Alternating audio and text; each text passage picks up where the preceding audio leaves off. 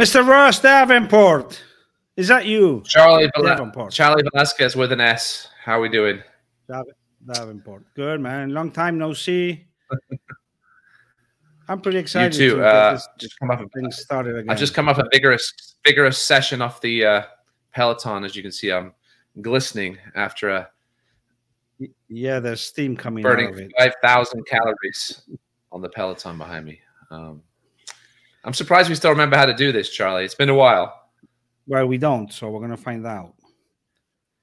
We're gonna find yeah, we, we, have never we've never done it well. So I guess if you, if you don't remember how to do it well, it really doesn't matter. Um, but welcome yeah. to season three of Tifro talking Florida rugby occasionally. Charlie's changing the background, messing with my head. Charlie's wearing what is that jersey you're wearing, Charlie? I'm wearing my South Tech rugby shirt, which somebody asked me about at FAU the other day. Los Teros, who knocked off the USA in the good. Sevens World Cup last weekend and are on the circuit full time next year. Yeah, man. It's going to be fun. I will also mention you lost to England in the Challenger final. Um, well, but of course, no. England also lost to Ireland, who were good at 15s, but not traditionally very good at sevens. But they, but they have they're getting a lot better. They knocked us off in the first round of this tournament with a very silly format. Um, yeah. We're back. 2022, 2023. I know we're on Sundays for now. We'll see how that goes. I said to you, Charlie, we may we'll see how many viewers we have tonight. It's probably gonna be a slow Sunday. But we yes, do have some cool guests. Um, we, we, were supposed to have a special guest, but there's always Cagney Coburn has let us down. And I, and I yeah, haven't he, heard if we're going to have that special guest. I want to, I want to tell you he, it was going to be, but it, it, it wasn't going to be coordinated by Cagney Cobra.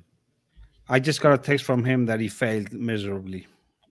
So that's confirmed. No special oh. guest oh. unless unless story, somebody story of, story of his life, Charlie. Yes. story, story of his life, except for the except for that the, the, beautiful family he has. Cagney, you know, he works in vegetables, um, and he uh, plays two minutes of sevens and then asks for a sub, as oh, yeah. we as we famously showed you guys most weeks. Um, hopefully, we sound and look all right. I'm in, I'm in a I'm in a new I moved house, so I'm hoping the Wi-Fi is okay. It's got I had one bar on here for a minute, but it seems like I have good connection. So hopefully it's moving pretty smoothly. I think. So yes, we, have missed a few things, Charlie, since the last episode. well, pretty much all the summer. Had, uh, Let's try to quickly go yes, over what happened uh, in the summer. Listen, we want to. First of all, if you'd like to sponsor, if you'd like to sponsor Tifro, please reach out to Charlie or myself. And yes, please. We can accommodate. I was. It got me thinking about that. Was that our our previous sponsor, Chris Ream, is one of those rugby people that hides away the entire Florida summer. Probably quite wisely so. There's, there's a lot of people that do that. Yeah. um, just because of the heat. We did have our Florida seventh season. It was sort of a weird season.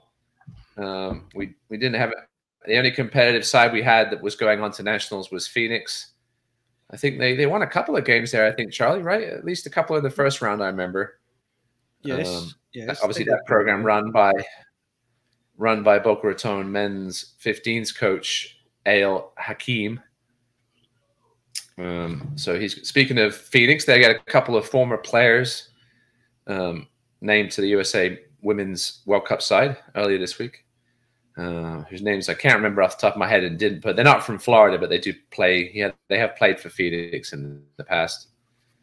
Um, what else we got going on, Charlie? In the summer, we we we had the Sevens Rugby World Cup, as we mentioned last week. Obviously, I think the biggest name there for Florida is Cisco Lopez, who continues to make a massive name for himself on the he gets referee a lot scene. He gets a lot of screen time. I mean, listen, he's a handsome lad, Charlie. If the producers are smart, they get Cisco on the screen, even with his hair and his. He's gone through some facial hair, you know, things over the years. But uh, great to see Cisco out there at Rugby World Rugby Sevens Rugby World Cup, sending Florida, listen, I keep telling people if you're young and fit, and smart, and you want to referee, this is where you can go. People will pay for you to go around the world and ref rugby, whether it's Dubai, whether it's South Africa, whether it's you know West Coast of USA, Vancouver. This is the, one of the best parts about being a referee. We also had a few Flor- we also had a few Florida players on the World Cup. Chris Thomas. We did. We had Chris Thomas, who I'm not sure how much. I'm not sure how much she's got left, Charlie. She's getting up there. We had her on, obviously, back in the day on the pod. Um, but she's not young anymore. She she's still very good at sevens. She didn't make the World Cup's 15 squad. She was still playing 15s for USA a couple of years ago, but will not be at the World Cup. Obviously, Perry Baker, Malachi Esdale, former UCF and Naples, etc. Naples Bears, I should say, not Hammerheads. Got to got to make that distinction before I get in trouble. Um, and yeah, no, good. Not the best showing by USA on either side, but a bit of a down season. But it's been a weird year, right? Still, I know they've had a bunch of injuries, and we'll see if they can get back. And then we had PR sevens, we had RAN twelves, a lot of Florida representatives there. Uh, Morgan Freeman uh, was playing at PR sevens along with Christina Swift, former FAU. Uh, maybe played a bit for Fort Miami too.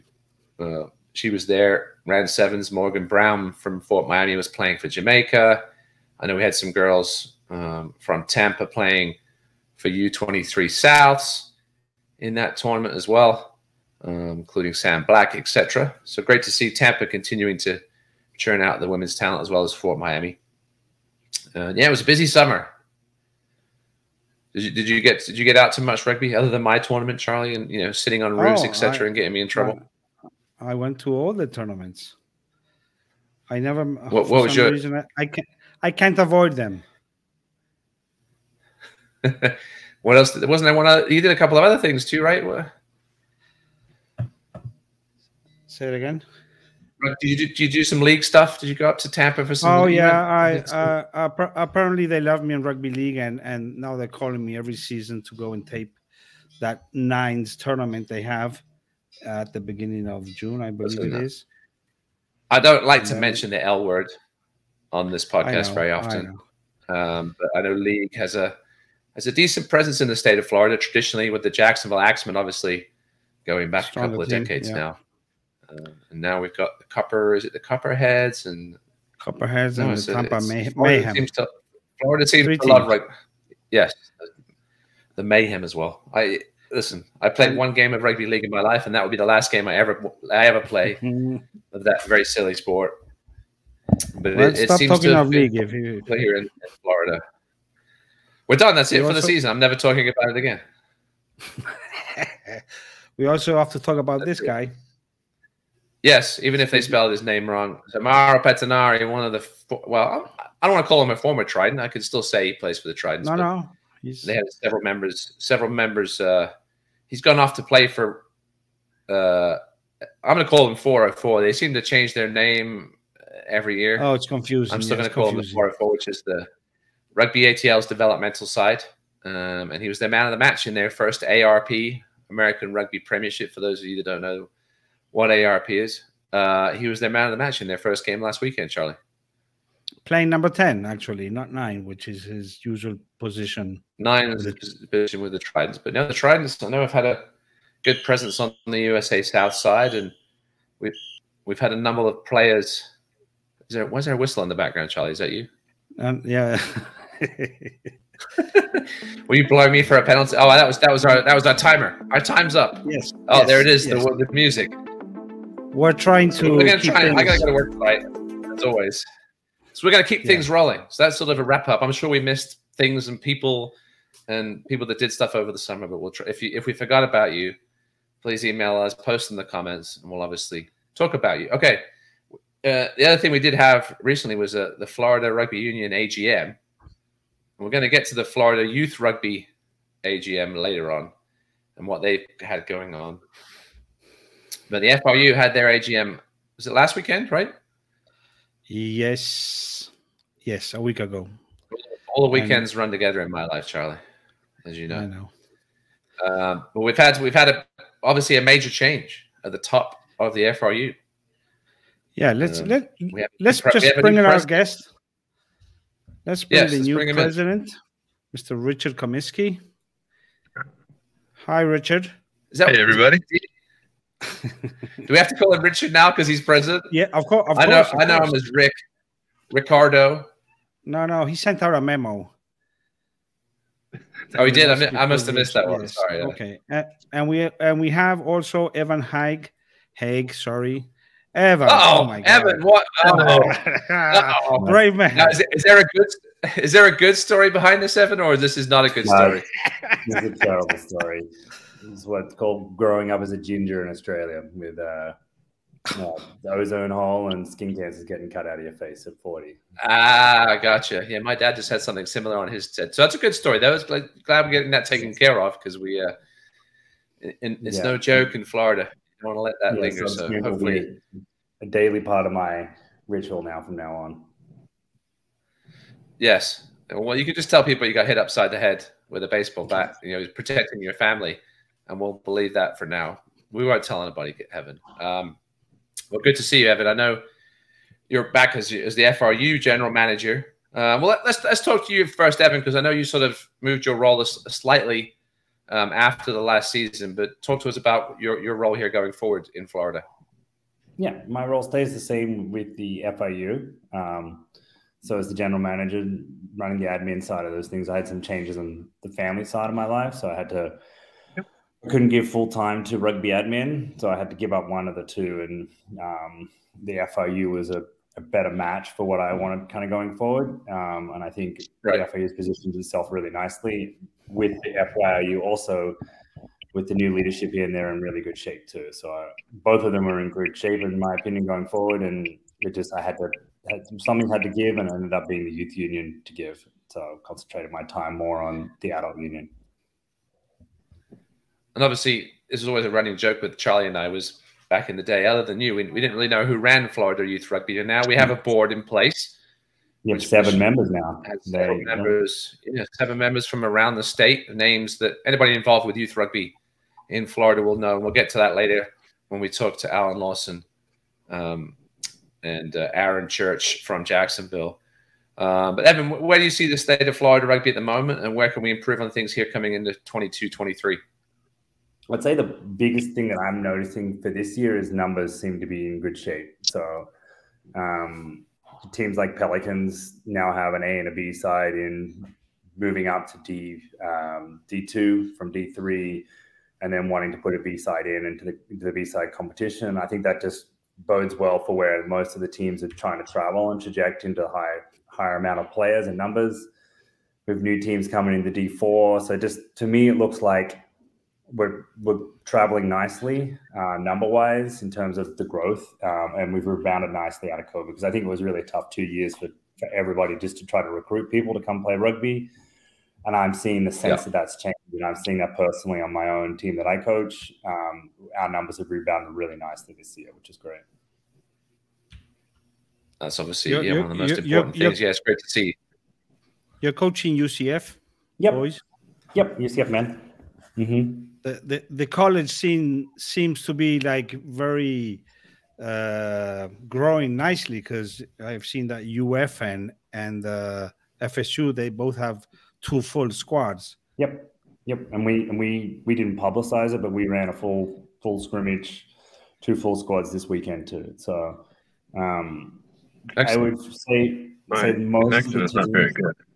have have really done a really good job of trying to recruit, and I think that's been a lot driven um, by Kirk Swanner. Um, he's having someone personally contact every one of the eight, uh, seven clubs that are in the kind of the D1 men's competition has really helped drive them forward and to want to be competitive. Uh, there's a lot of really good information out there for everybody to share amongst those. And, and what I mean by that is all the teams are sharing really nicely amongst each other to help them grow. And I think it's fueling just a lot more success, which I think long term will fuel more success um, on the men's program as those kind of players start filtering through wanting to continue to play rugby.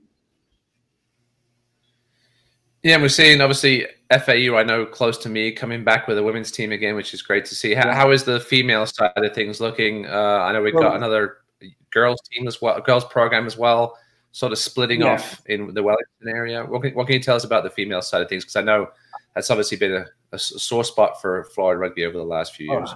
Hundred percent. I wouldn't even say it's a sore spot. I think it's a black black eye on on the sport as a whole in, in Florida. You know I, mean? I used to coach a women's team, and I know how difficult it is. Um, but um, it's it's tough because Indian River have slipped away, but out of their ashes will come um, Treasure Coast. Um, and and they're and they're more yeah, branding, but but they they won't be in the league this year. Um, for the women, there's yeah. just four teams in the senior women's. The colleges, we're working on kind of a hybrid type situation. Um, it's tough on both sides. So it's tough at the bottom when you can't don't have enough players to play. And when you finally get enough, you go play one of the bigger teams and you go get stomped by 70 or 80 points. Nobody wants that.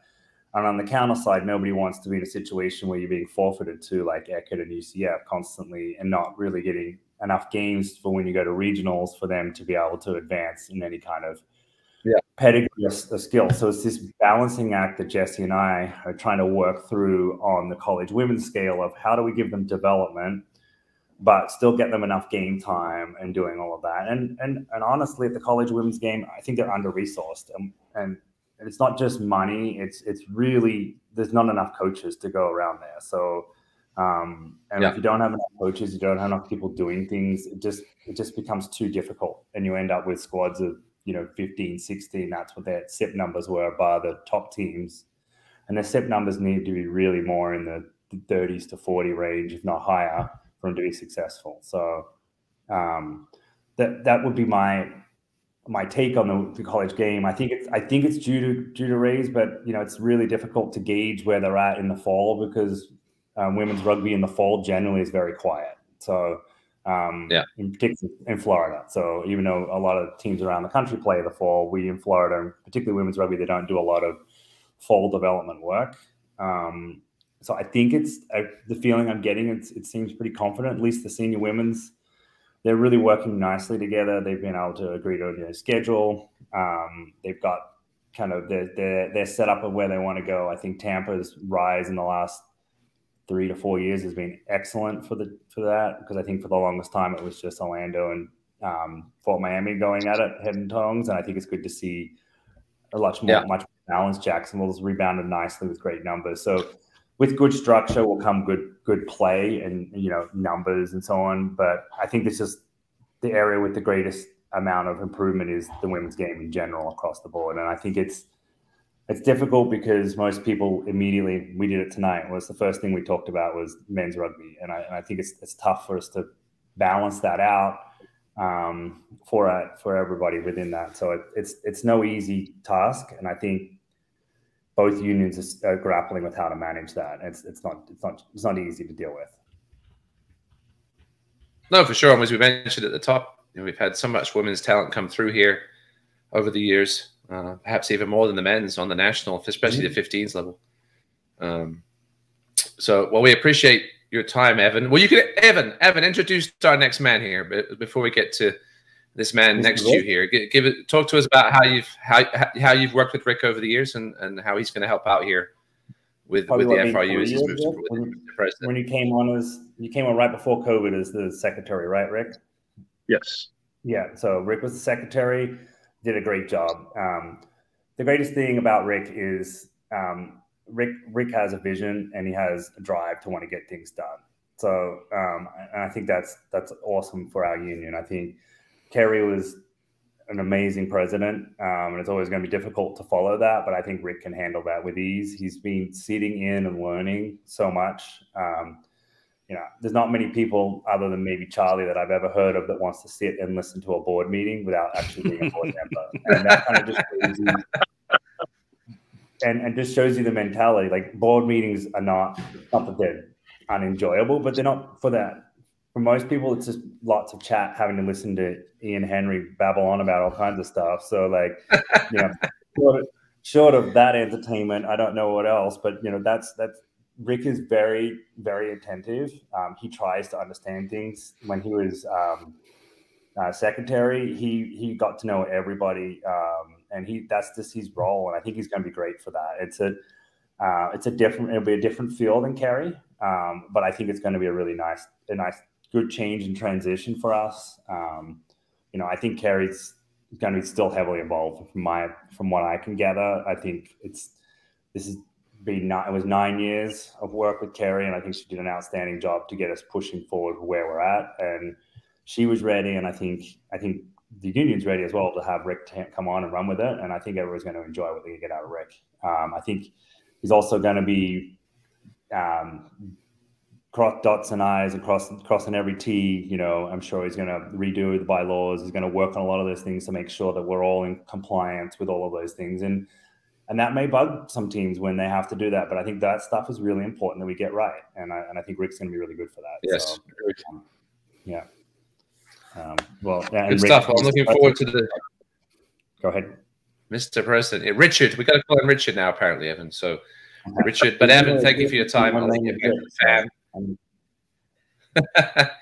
I appreciate you and uh, obviously what your help you're going to do here with uh, with Rick's tra- sorry Richard's transition, and I'm sure Kerry will be good to help out with that as well. So appreciate your time, Evan. We'll be obviously as the season gets cracking here. Yeah, absolutely. Richard, thanks, Evan.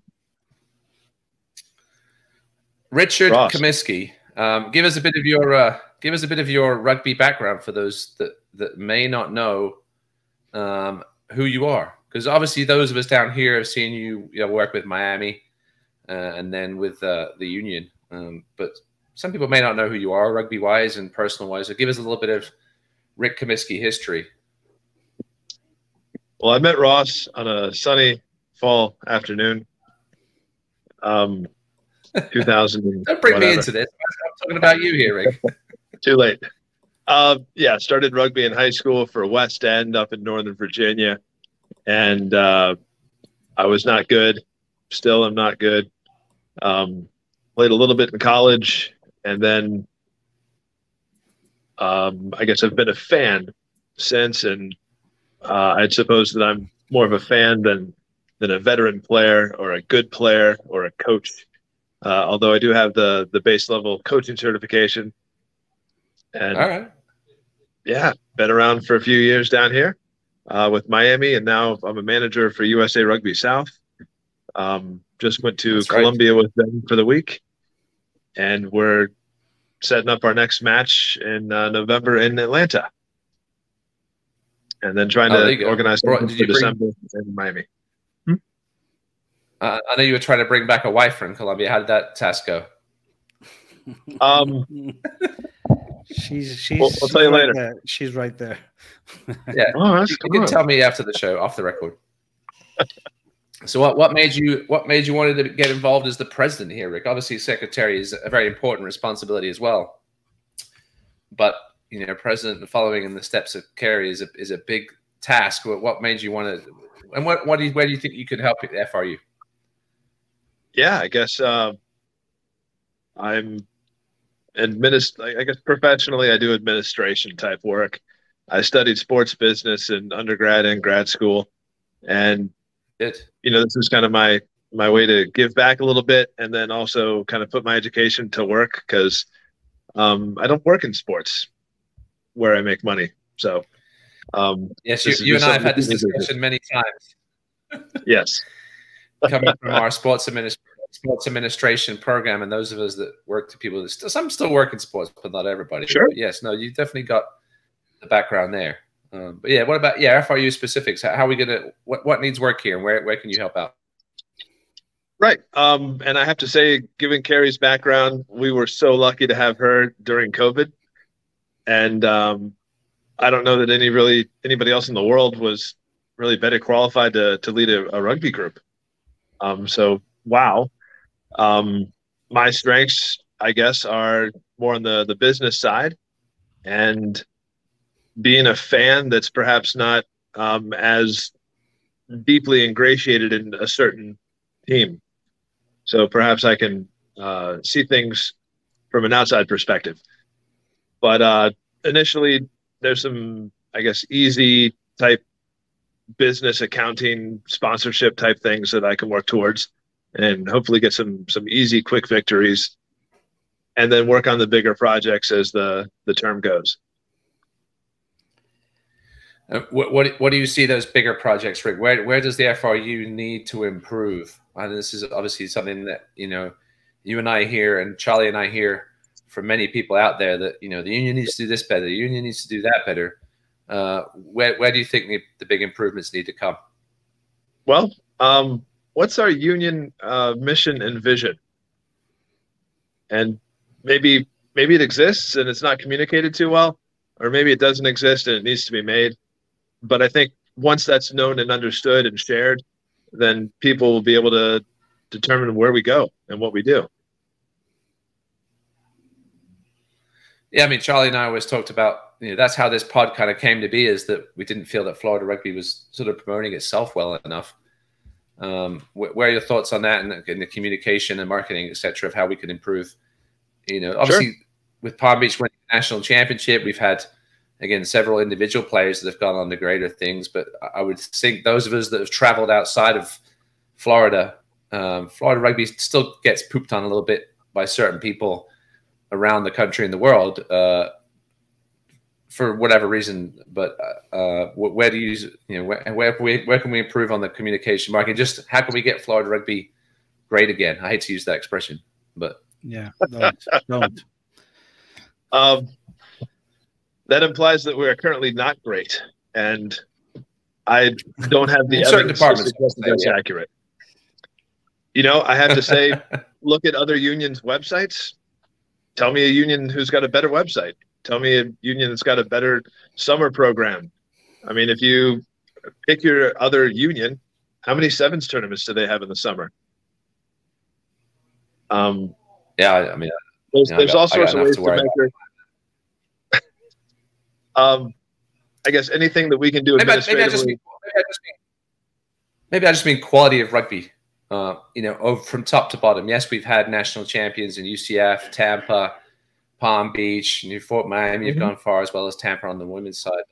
But, you know, as an overall state, as a state of hey, how is the quality of rugby in Florida, and, and does Charlie and I have talked about this previously too. The number of now social teams expanding to where it is is is that where Florida slots in? Is sort of hey, it's a good fun place to play rugby, but don't expect to come down here and you know then go to the next level. We've seen it in some, with some individuals and the, the, occasional teams, but I think again, as I said on, especially on the, the, the nationals 15s level, especially on the men's side, and not lately on the women's side, we haven't had the the, the national impact in Florida. Um, how can we improve the overall level of rugby in Florida? Um, improve the administration. Put you on the spot. The sure, go for it. And I'd like to get some national level events in our state. Um, yeah, we not? used to. Charlie, Charlie, Charlie will say we, we used to have tons of national championships up in Central Florida and Sanford. I remember ARing yeah. up there, and we haven't had that for you know years. I, I don't I, listen. I, am not behind the scenes, so I don't know why. Um, I can give you, but, but, uh, that answer. Evan's got the answer. Yeah, go ahead. The answer is hurricanes and thunderstorms. so USA Rugby had a certain times of year, yes. About, six years ago at a national championship for college where thunderstorms nearly destroyed the whole event. And so now that ever since then they've been fearful of coming to Florida, particularly Central Florida, for that because we have so many of those. So we have this stigma of that. We put a lot of over my eight years here, I probably put in eight or nine different requests for holding national championships yeah. at any one of different, probably five or six different venues across the state. And it's the same answer each time. It's too hot, too many thunderstorms. So we've got to tell a different story. And it's definitely something that we worked on. Um, I think administratively, with Eric Guy moving on from the national body, um, will open more doors for us to have more opportunities for that. So hopefully, in the short term, we might Rick and I might be able to really turn that corner on us. But that that's that was the stigma we had because we have the venues and the facilities and the desire to want to host them. We just never yeah. been able to get you to agree to it. Let me just say, Ruggerfest would be a nice opportunity to have some quality game as we used to have in the past, because you know no hurricanes in in February. Yeah, they, and, they and we missed that. Our, our, problem with those is our best time to play rugby is you know January, February, March. That's when everybody feels most comfortable in Florida trying to play rugby and um, that's the middle of our competitive season. So when we talk about national championship events happening in May and June, it means for us to to put our best foot forward. But we do we do try really hard. The other thing about it is Florida is a very popular destination for a, a ton of other sports to want to do national championships. Um, so we have to be really forward planning to get get, get that. And I think that's that's gonna it's, it's something that we're improving on, and I think Rick will just make it even better because we're he'll just think this stuff through, and we'll just push and push until we get the answers that we need. Okay. Good stuff. Uh, Charlie's alarm went off, but uh, as we're not going to have our special guest, Charlie, we can go on a little longer. Okay. I'll give you 10 more minutes. we give, yeah, we give till 10. We'll bring Alan in. Um, yeah, going back to the social thing, does does the is that a positive thing that social rugby is really blowing up here, or is it? Or do you see it as a negative thing, or neither? Is it both a positive and a negative that social rugby, you know, the D four level is really expanding, um, but you know, we've obviously back in the day tried to go D one, um, D two. We haven't had a ton of recent success outside of the state. Charlie's showing us the yeah, as you can see now, D4 has just absolutely exploded. Um, why do you think that is? Evan can Evan can talk about this too, but I'll let Rick go first and what he thinks if it's a positive or a negative that that the D4 is exploding. Yeah, Ross, what's the difference between D4 and social? Well, I mean, I see D4 as more of a social level of rugby in that you know perhaps some teams you're not committing to. Uh, how do I? I mean, I w- I don't want to say uh, two practices a week, right? Some teams may just have one practice, um, and some teams have gone down from D three to D four. Um, yeah, I, I, don't really know why. Well, uh, maybe Evan can answer the question of why D four exploded versus D three. Why he thinks that's the question. It, it's it took a while to get it there, but um, I think what it is is a great development area. So look at all those teams. Ninety percent of them are very new teams, apart from uh, Gainesville. Yeah. Um, Tallahassee, would consider a new team. If you're just looking at those single club teams, um, and I think it's a really good environment for them to be competitive with each other um, and, and allow teams to rebuild and regrow. So I think Gainesville, um, you know, I know Kerry and I pushed, we pushed for them to go up, back up to D3, but they felt like they needed one more year at D4 to just to re-get their club back on back on standing. And because of the flexibility of the rules within there, um, it gave us a lot of that to do that. One, two, uh, that's particularly when I do scheduling for D4, I regionalize it. So we try to minimize their travel distances. Now, some of them, yeah, it's difficult. You can't you can't not have Tallahassee travel. We're just always going to have to travel, but we're going to try. We don't make Tallahassee go to South Florida. We try really hard not to have that happen and vice versa. So we admitted we made a mistake last year, and I think it was the semifinals when Okapi went to Tallahassee when we should have sent Okapi to I think Daytona, um, who played Gainesville. So those were like things where in D four we can really do that because it's all about just getting them as much game time as possible. Um, I think within yeah. D4, the second team, what we're calling the second division cup, is also starting to really get some good teeth. And I think it it allows for a lot of crossover and flexibility of the way that we play.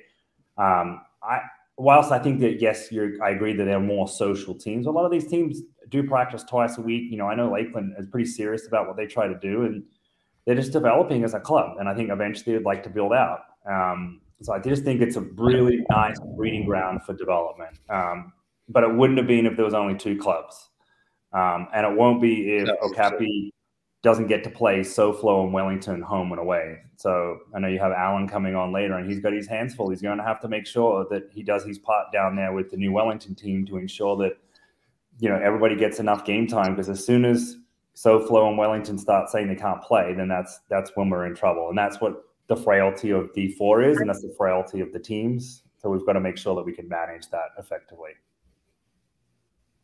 Yeah, well, one good thing about having the teams down here is that there's other sides, say for instance Palm Beach or Boca, or um, that don't have the numbers for for a D for a second side, but there's other sides. So if Palm Beach said, "Hey, you're never going to get time with those the A side," you know, go play for Wellington and somehow still be able to be associated with Palm Beach. I'm not sure if that's something we sort of thought about. That's, I know that's, that's they, don't, they don't go on.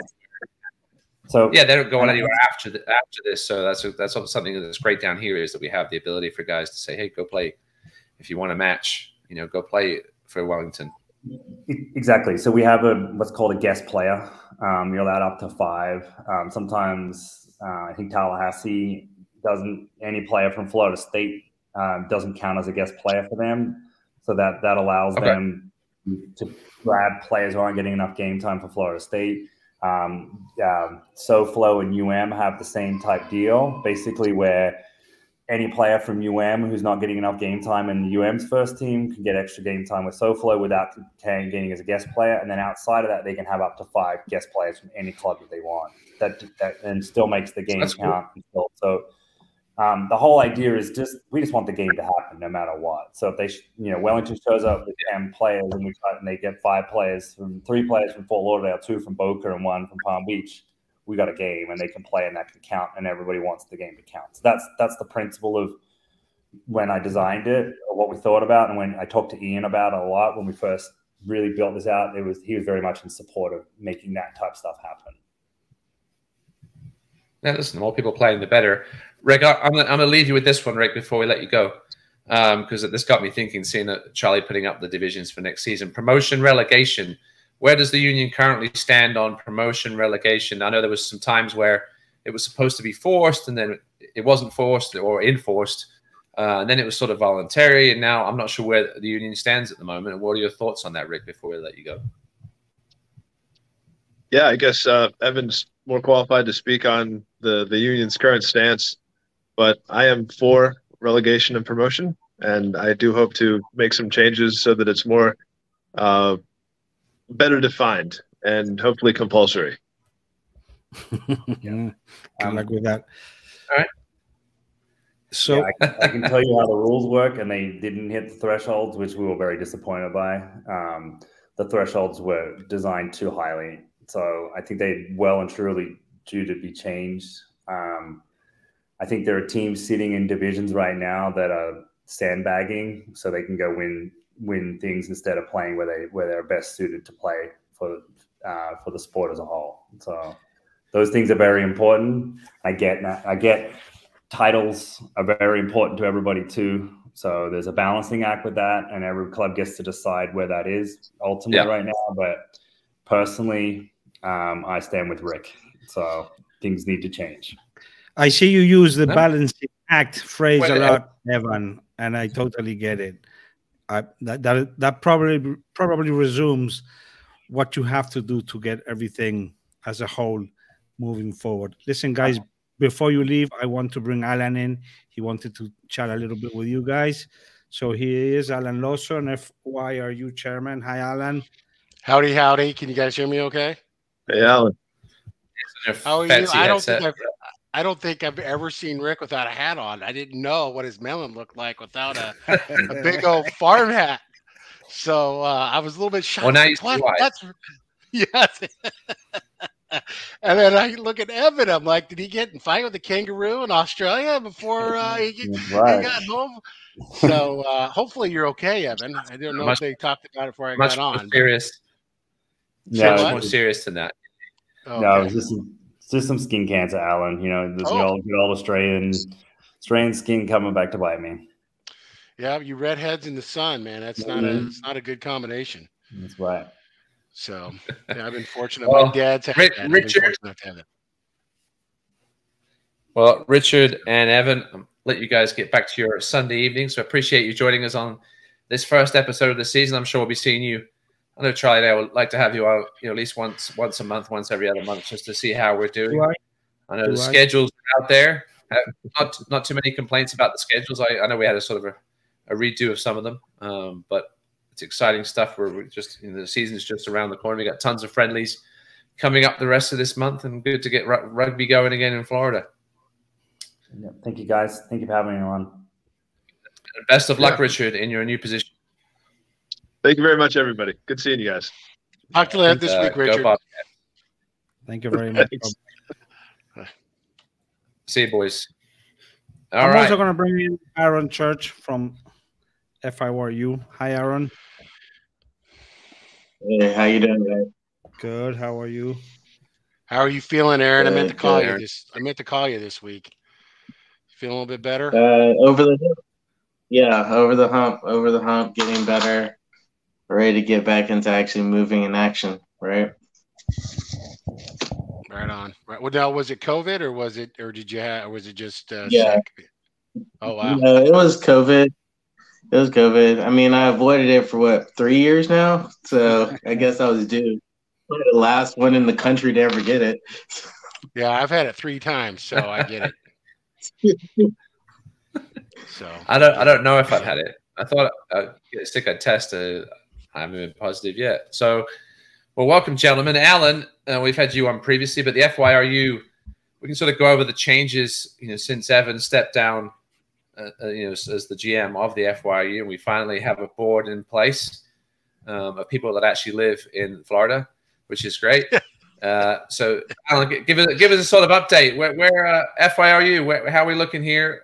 I know we've got a new team coming in the in the Wellington up in your neck of the woods on the girls' side of things. Where are we looking at the boys' side of things? You know, Orlando. I'm hearing rumors here and there they might get their act together, which they really should be having a having a youth program there in, in one of the biggest cities in the state. Uh, give, give us a roundup, a sort of overall view, Alan, of how things are looking at the youth level. So we've got, um, I think Fort Lauderdale. I've got a, I got a finalized conversation with Toby uh, at the Fort Lauderdale, uh, and then I think uh, Charlie, we talked about the Miami side. Uh, and this looks like it's it may not happen, but they may have some kids that can trickle in and and play at some of the festivals. And then um, I have not finalized conversation for the U19s up in Orlando. Um, but the good news is, and I see that you have the shirt on, it looks like, um, you know, going back and forth with Simon on South Tech. So that's some exciting news uh, that looks like they're, they're getting CIPPed uh, with USA Rugby and, and joining the union this year. So that's going to be fantastic. And then we'll just figure that part out. The big piece for them is, is the girls side. And um, we're already trying to work with them to, to go up and, and with, uh, with them to do a kind of a camp slash uh, game day Saturday, Sunday up in Jacksonville. So we're trying to trying to bring them in on that uh, to, to get some excitement on the girls' side. So uh, at the high school level. So it's one of the big things that we're trying to do either mid December or early or mid January, and then do, at least do it once or twice this year, uh, and try to and then try to figure out how we're going to get some games going. But I think the youth level right now, I think the biggest thing is right now we're really strong at the at the youth between, you know, we're getting more kids even at Wellington. The U6 is getting more involved, or bigger numbers at the U6 on the way up. And then, you know, where we're struggling right now, I, it's interesting that's happened is there just seems to be a lot of distraction at the high school level. And I know we're going to be struggling this year. We have a lot of U16 players. You know, our U19s is one of the things, you know, right now I've got about 10 trying to push that up to, to, you know last year we started with 35 so it's just one of these things that you know you're in constant recruiting constant motion and trying to make sure that you have the numbers to to make sure that you're successful in the coming season yeah, where do, where do you see the struggle? Why, why do you think there's a struggle at the boys' high school? And Aaron can jump in on this too. I, I, think um, I th- one of the things that's, that's happening good for us is that we're, we're tied in with the Wellington football uh, program, and they want us to come in and talk. You know, get them in early. So come in and sit down and with the freshmen, certainly at the lineman level and linebacker level, because I think it just adds that extra value uh, to them. And I think you know in Florida, you know, let's be honest, everybody should be kind of a, if you're looking to go to the next level, you should be a two sport athlete.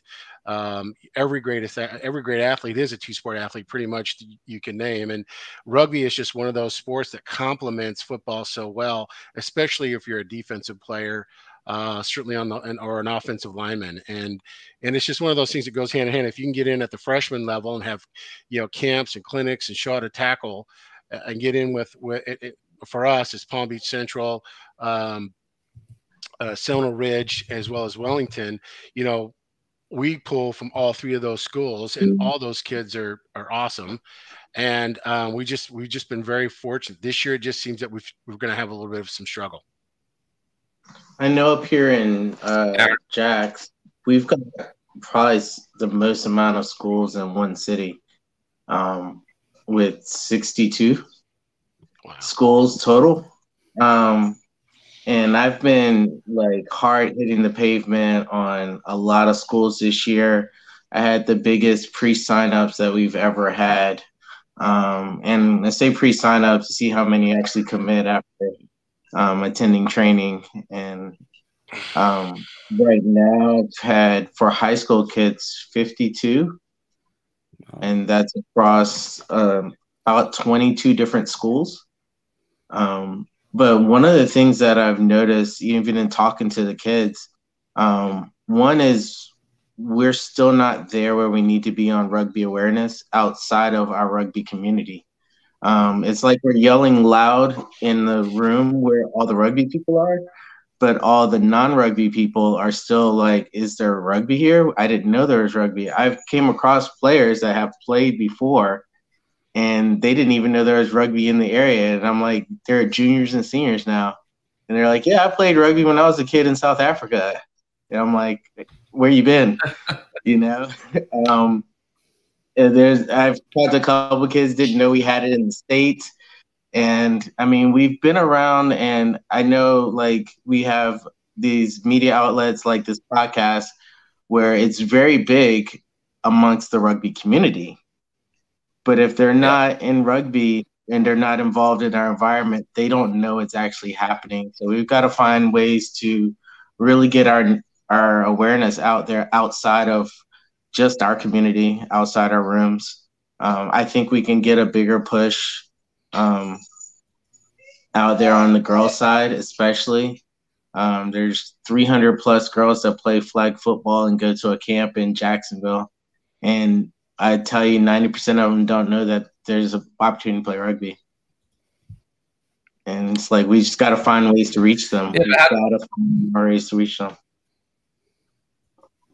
Yeah, Alan, what, what does the union by, plan to do to sort of Go ahead, sorry. Yeah, what does the union plan to do to sort of help get the word out there amongst the youth athletes? Like Aaron said, you know, Aaron can go to a flag football camp himself, but he can't do everything. And how, how, how does the union plan to help help teams help well, themselves and getting the word out we do have so I think, that, rugby here? So with you know, again, I we talk about forums, social media, and it's just continuing to to, to pound and talk. Uh, for us, you know, we have Helen Archer, who is we have a designated individual. She's very well connected all along the East Coast. Um, with teams in Canada and with USA South, we have girls that go all over. Uh, you know, we just had, you know, and you get that out. We just we just had one of our girls just come back from from Ireland for two weeks. Uh, and it, these are the type of things that people don't realize that that's available out there. There's more money that goes by the wayside that just doesn't ever get taken uh, for for women's sports in, in college, just because they don't understand that the the awareness and and you know some of the things that we talk about with the wizards i tell parents i mean we have more scholarship money that goes out of this program really than than you know high schools combined because I have, you know, you get 10 kids that get offered a scholarship, not all of them take it. And uh, that money can go to another, you know, that go, to another player. It's just one of these things that there's a lot of opportunity because what these schools do mm-hmm. today, they don't realize is that they essentially make it equal to in-school tuition. That's kind of what the math is, right? A $50,000 school, they get it so that the money's equal to what it would be to go to say FSU or, you know, University of Florida to as opposed to an in-state school playing for a club, you actually go play for a D1 or a D2 school.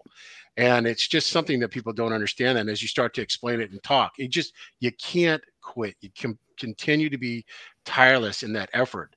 Um, and you try to develop these things that, that you know, if, if we can do this this camp and clinic and games up there in Jacksonville. South Tech can come. You know, we blow it up with social media, get the girls to put it on Instagram, and just try to grow the sport. Um, and then uh, for us, we do it at the at the at the really at the youth level. We have more.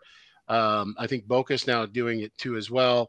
Um, we have more girls at the U10, U12, and U14 level than anybody. I mean, sometimes half the team is is females. That brings it in, and then it carries into into high school. Um, and then it's just one of you just you can't quit. You just got to continue, talk, and try to deliver. Yeah, I think it's one of those things with the girls that it seems to be word of mouth, right? Hey, one of them talks to their couple of their friends they know are athletes. Hey, why don't you try rugby?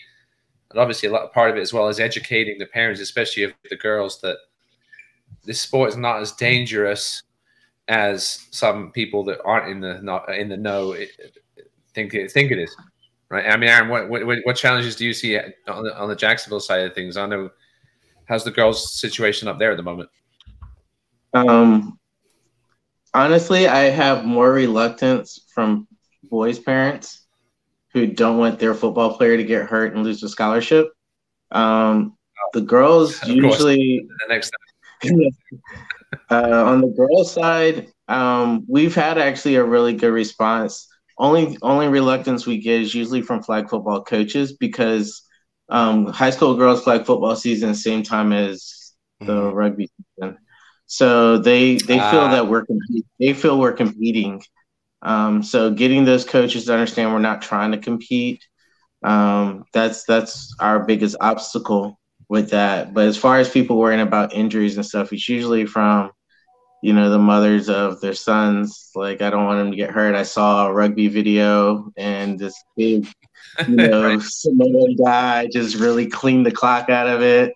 Yeah, and it didn't help. It doesn't help, but yeah, for the most part, on the girl side, it's just really trying to get that um, awareness that we're not trying to compete with all these sports. Like Alan said, they should be multi-sport athletes, um, even on both sides, boys and girls. Uh, there's a lot of lacrosse girls that play um, that would switch over and play rugby as well, but we just got to get that through there um, that we're not trying to compete with other sports. We're actually trying to help. Yep. No, I I I, I agree with with what he's saying, and you know I think a lot of times too, and I and I get this a lot on the high school level. You know, when you talk to a to a lineman or a defensive player, and you say, "By the way, you get to run the ball," their eyes kind of light up.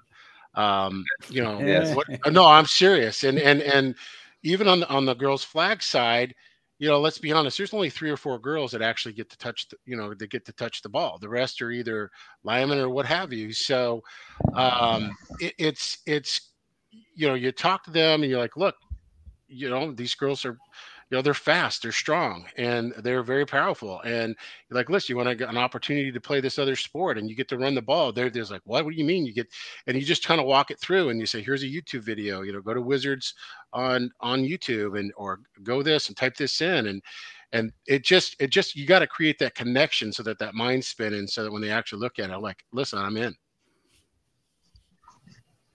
For sure. Well, before we let you guys go out, maybe just give us sort of overview about some of the key areas in the sport that you as a board are really looking at for this upcoming 2023 season? And then throw, you can maybe throw a few names out there, of some of the girls that are doing great things outside of the state of Florida at the moment. I know we know some of them, but you, you, you certainly do as well with the likes of Alex Wantland and Sarah Barsoom, etc. Yep, yep. Alex is. I'll be honest with with Alex Wantland. I I um and I even talked to my own my own son. I've never seen a I've never been around a, a, female athlete like that before in my life. I, I it's and and I got to compare it to like to be honest, she was like the Michael Jordan of of girls rugby here for a long time. I mean, she's got to be, you know, one of the best in, in the you know world under 23, and she's just unbelievable. Um, she's a physical specimen. She's intelligent. She's smart. She's she's athletic, and and she just uh, she's just unbelievable um, and her, you know, her, and she's just got an awesome family, and even her sister who who played at West Point, um, who you know who, who, who left our club and, and, went to West Point. I mean, and and then the other sister who who played at um, oh gosh, um, what's the Stetson University? I think she played Stetson for, full ride for for. Uh, sorry guys, my somebody's knocking at my door. Full full ride for uh, for soccer. That whole family just was unbelievable. Um, and then, like I said, we have uh, uh, Morgan who who plays for us. She she went to Ireland this summer. There's these opportunities out there. If you show up, you can get them, and that's half the battle. Just making sure that they show up and that they understand. Yeah, I think we do, I think we need to do. I got a text from my dad. You know, need to promote the success stories even better. You know, on Facebook and say, look, this is you know, I didn't know about Morgan going to Ireland. You know, I, maybe I don't follow the right people, but it's one of those things that we need to get that word out. A couple people share it, and then all it takes is that one, you know, one person to see it uh, and and take it to the next level. Um, She's, yeah. you know, so, some of these athletes are not, you know, it's, you know, and and she's a she's a very mature individual, and she she's not on social media a lot, and she, you know, she kind of, you know, there's those athletes that are out there that just kind of let uh, that let their performance speak for them. And then what ends up happening though is the people around them say, hey, this is what's going on, right? So you kind of got to get that that whole piece of it going. No, for sure. As I think any, any promotion is good. But as we said, what, what are some of the big things that the board will be looking at to work on this this upcoming season, Alan? Some of the real focus So we're points? really pushing. We're trying to have, um, you know, we're trying. There's a couple things. We're trying to really have a festival. You guys were talking about it before. Getting back to this family environment. Um, we're trying to have uh, some more festivals this year at the youth level, to where there's two or three up north two or three down south, just to make sure that everybody can play everybody on multiple times, get to that back to that environment that really, you know, that introduced me to the sport in 2014 and really what brought the Wizards along. And and um, that to me is is the ultimate, the best formula that you can have is everybody at a spot enjoying watching their kids play this this great sport and it's something that we're really pushing towards and what we'll talk about a lot at the AGM. The other thing I think that we need to do is, it, and, and all, it's just going through and there are some rules I think that need to be reminded of, of you know, getting back to you know code of conduct, how to treat referees. Having, I think, um, as a board, I'm looking to, you know, develop an executive staff that can handle some things on day-to-day operations. Like, look, when things happen, you know, look, you're you're going to be suspended. You're you know if, if you're if you're going to cuss out a ref or cuss out a, a child on the field and, and you're a coach, I think um, I think you need to to sit back a week. Um, that, that this these Good. type of things we need to get back to better behavior. All of us. I'm not perfect either, so um, I think we all need to be better and challenge each other to be better.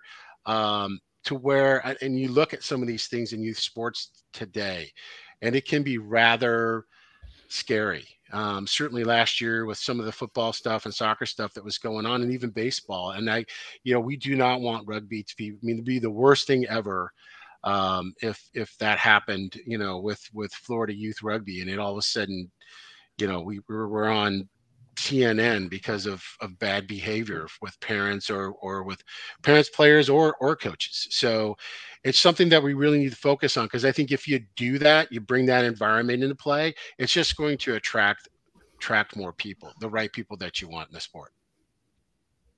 Yeah, that's a, that's a big part about rugby is the culture, and they need to learn it as soon as they can. Uh, Aaron, yeah. I know you guys run that big invitational up up there in the in the spring. How's that looking? I know I'm sure you've already started planning and going to get bigger again this year. Yeah, yeah, it's, it's looking. We've already had a lot of teams from out of state talking about wanting to commit. Um, of course, the Charlotte teams are already signing up and ready to go. Um, a big change this year because we want to get more Florida participation. Um, we really okay. want to get more Florida teams. I know the Jaguars team will have a team, but anybody else that wants to submit a team, the Florida teams will be able to enter the tournament for free.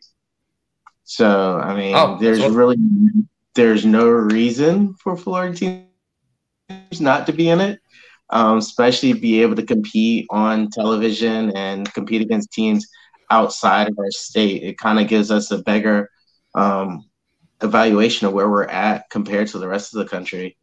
Um, and actually gives us more exposure, gives the kids more exposure with colleges.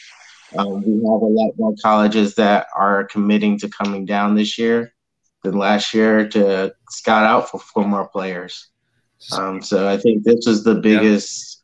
Yeah. Last year was the biggest recruitment that um, Florida had for colleges coming down and pick, picking up a lot of players and everybody's seeing that.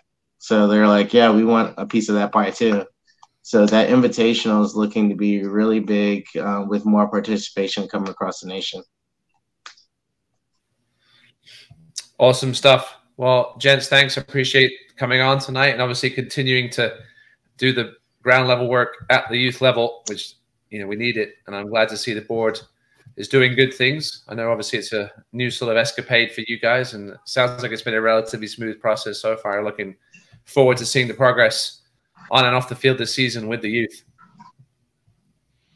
Thank you guys. Absolutely. Thank you, guys. And Charlie, yeah, cheers, boys. We'll have you again. Buddy. Sure. Good job on that new website. I heard Rick give you the, the props. So there you oh, go. Yeah, thank you. We're trying. A lot of work. Right. Thanks, guys. Okay, yeah. guys. I'll All see right. you around. Bye bye. All right.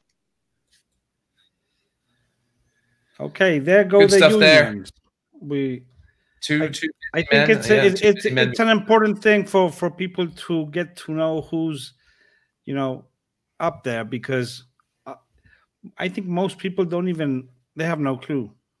You know, it's like magic, and this is a lot no, of work yeah. that these people have to put in. You know, week in week out. Those meetings, as Evan said, which I for some reason attend as a spectator that that gives you you know a sense of damn this is not really fun and but somebody has to do it right Hundred percent. It, uh, it all starts at the top, and the success will hopefully trickle down into the rest of rugby here in Florida. All right, let, us take a look. I know you've been sort of flashing some graphics during the evening, Charlie, but let's take a look at our divisions uh, confirmed for the upcoming season, and we can just talk about them real quick each for a few seconds. Yeah. So here is, is, men's man, isn't isn't this men's premiere, Charlie? Not men's D two. Listen, you know, uh, for some reason Listen. I'm like old school. I always I always kept D two on on on my graphics. You, you know, because nobody outside the state will understand what the hell you're saying if you call them premiere. Yeah. So, um, the Pelicans. The big news here is the Pelicans moving up. Yeah, and obviously awesome. Fort Lauderdale coming back after one season in late in D four, Charlie, or yeah, one, one, one.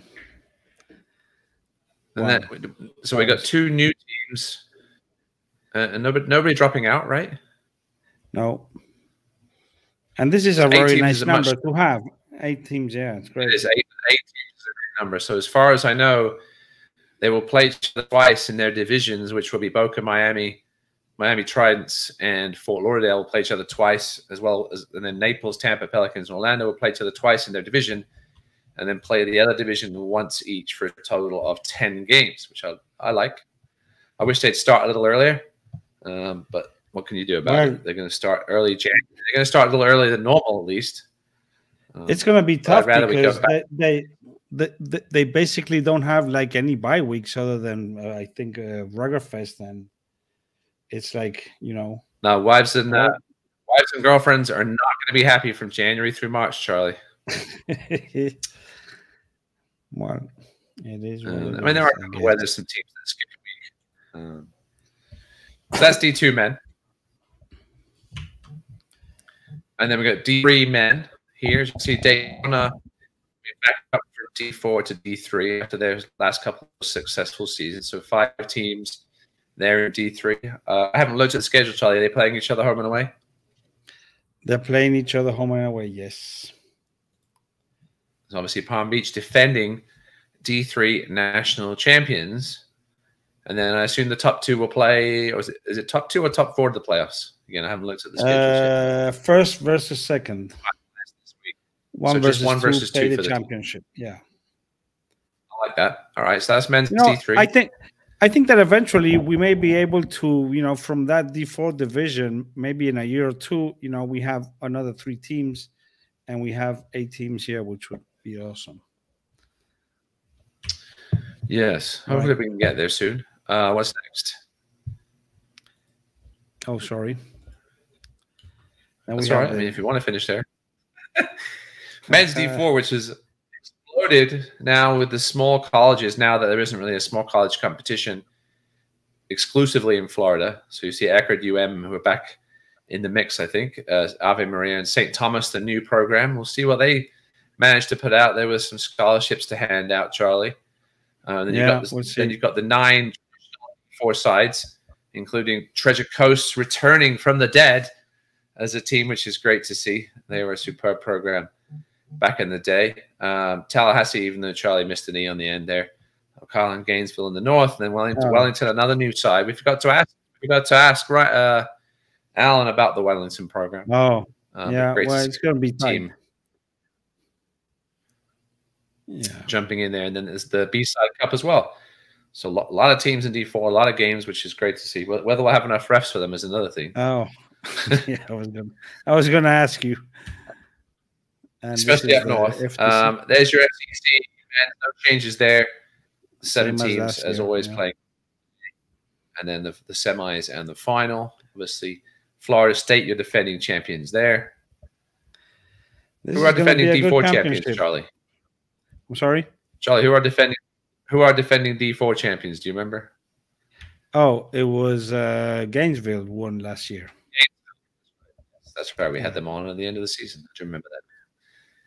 Uh, so that's your FCC men.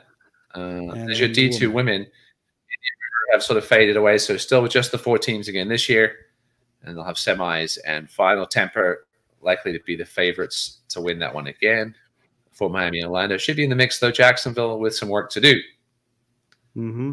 Did I spell it right? You Tampa. Jacksonville. You got everybody's name spelled wrong. Congratulations. okay, and listen, I have this. this, and, and this college women. Um, yeah, I'm not sure what's going on there.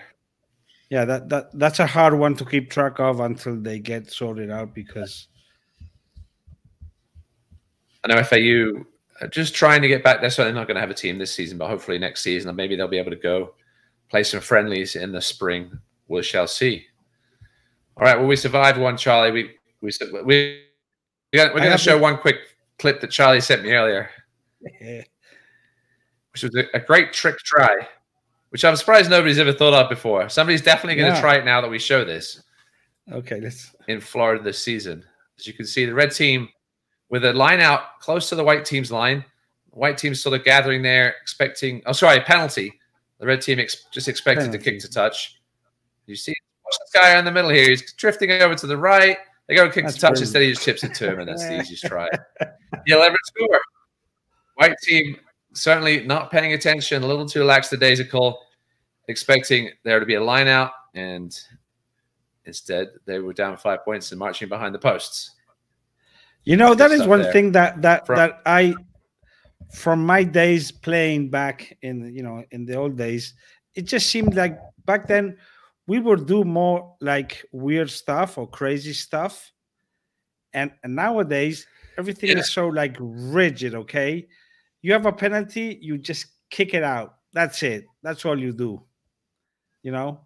Yeah, imagination has, has come out of the game a little bit, especially because what you see at the top level now, you don't see any of that. So perhaps that's why. Exactly. Yeah. Unless it's a barbarian game. Then you see yes, those are, the, those are the most fun. so right, anyway, before we leave, I just want to show. Uh, this is my crew watching the the podcast. There's Valentina and the rest of the family. Your daughter, yes, right there, look, looking, looking on at, your, at yep. his, her famous dad. Yeah. well, as long as you're famous, not, you're famous and not infamous, even if it's in the small rugby community. Yeah. Good stuff. Okay, so yes, Ross, we got this one. I'm looking forward to have the next ones for a few weeks. We survive. We're going to try and have it as many Sundays as we, obviously during the season. We'll try and have it every Sunday. Uh, until then, you know, maybe every few weeks as things happen, as the friendlies start trickling um, news elsewhere. Um, obviously, the Florida Youth AGM coming up. I forgot to ask Alan the date for that, but maybe we'll get some news out of that. We got the Women's World Cup coming up oh, soon. Yeah which will which will be on Peacock, which is great. Yeah.